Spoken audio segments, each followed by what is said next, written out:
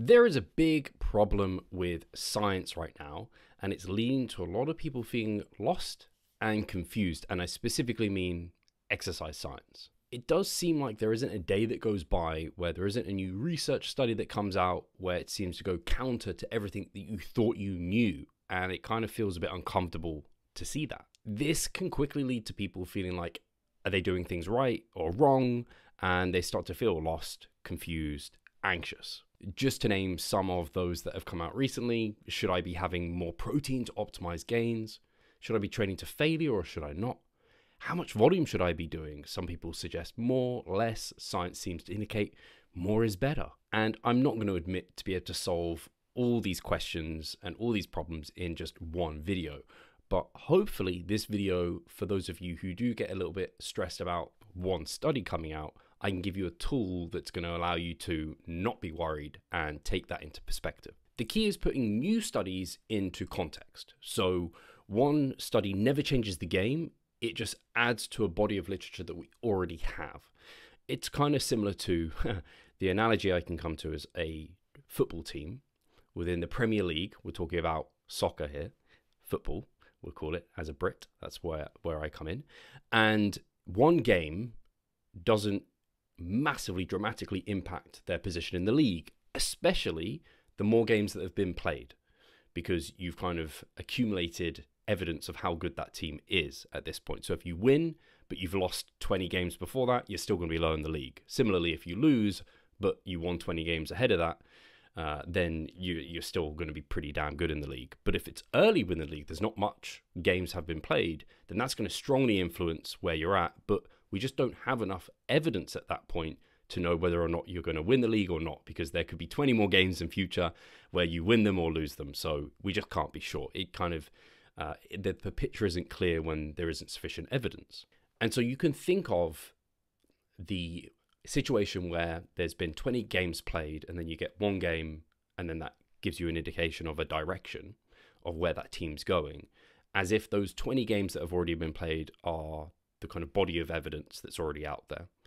And so when you zoom out and you add those uh, that new study to those other games or that new game result to those others and where you are in the league as a whole, it's kind of like a meta-analysis. So a meta-analysis is basically a study of studies. You can put it like that, where there's some inclusion criteria, and then they look at kind of what does the body of evidence say, and then that gives you a much clearer direction of where things are headed versus anything else. So, another way to think about this that I've mentioned several times on the podcast, the Revive Stronger podcast, if you're not listening, you should definitely be tuning in, is to use the bead model of truth. I, I like this because it's a very uh, clear way of looking at things.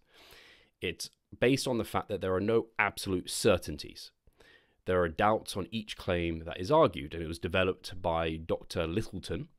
Uh, and it's based on uh, a bead being on a wire. So we have this kind of think about having a wire here and we have a bead on it.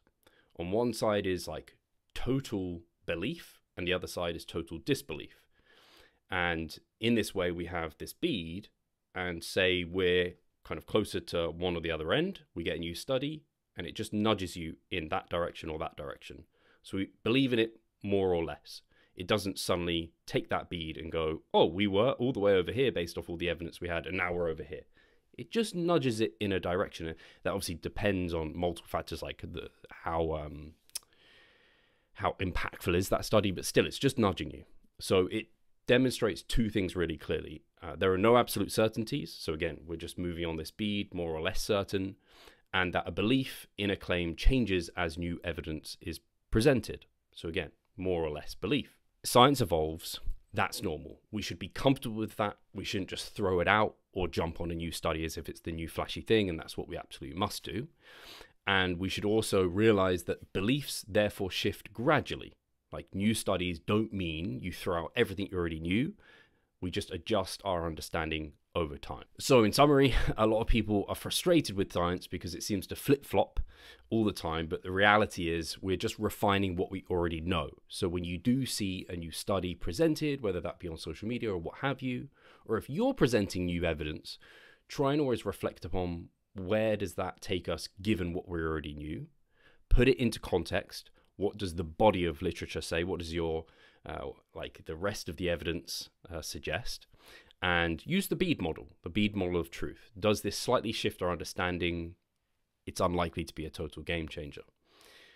And guys, uh, if you have found this to be useful, this is where a coach can come in, someone you can bounce ideas off, and also so can work as a sounding board. But also that coach should be taking this approach already, and they can help you not stress over the research because they're kind of they have an understanding for you and they can help guide you in the right direction. So, uh, if you are interested in coaching, that is what we do here at Revive Stronger. And I often have these conversations with clients where I make sure to give them perspective, where they might send me a study or they might send me a social media post and be like, What do you think of this? And this is what I just went through in terms of my mindset surrounding it, using that bead model of truth and understanding there are no certainties and we're just more or less certain and that science evolves is exactly what I do and we do at Revive Stronger.